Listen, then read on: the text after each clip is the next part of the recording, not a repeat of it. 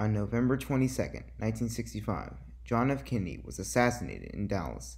His death sent shockwaves around the U.S. There are many questions about JFK's assassination. Did Oswald act alone in killing JFK? Did Jack Ruby kill Oswald for ulterior motives?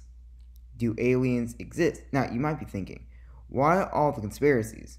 Well, the main reason is that JFK was the only president shot by people in hidden positions. Lincoln was shot in front of a theater crowd.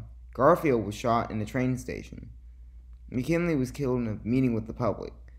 So we don't know exactly who JFK's killer was because they were in hidden places. It also doesn't help that the suspected assassin was killed two days after JFK was shot. Now before we start the video, this video does not pertain to the identity of the assassins, but to the location and number of them. Alright, let's begin. Now, history books, and 20% of Americans, will tell you JFK was shot by Lee Harvey Oswald, who was hiding in the Texas School Book Depository. While I think Oswald most certainly was an assassin, I don't think that's the whole story. If you look at the Zapruder film, the film reel that perfectly shows JFK's assassination, it seems that the fatal bullet was shot from a different direction from the depository. Now, near the president that day was Mary Moorman, and she took a photo pretty much right when the bullet hit JFK's head.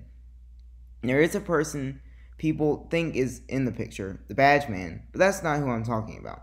I'm talking about something different. What is that?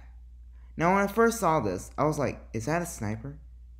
Future me here. I was going to make this a longer video, but let's just get to the point. I concluded that this most likely was not an assassin. The aim is slightly wrong, the angle in the Zapruder film does not coincide with the suspected location, so it most likely was just a severely coincidental group of trees. But I do think the Warren Commission was wrong in saying only one person acted in killing JFK. Wrongo. We can definitively say that there was at least two people involved in the JFK assassination. So hopefully this taught you 20% of Americans. And if it didn't, I don't really care.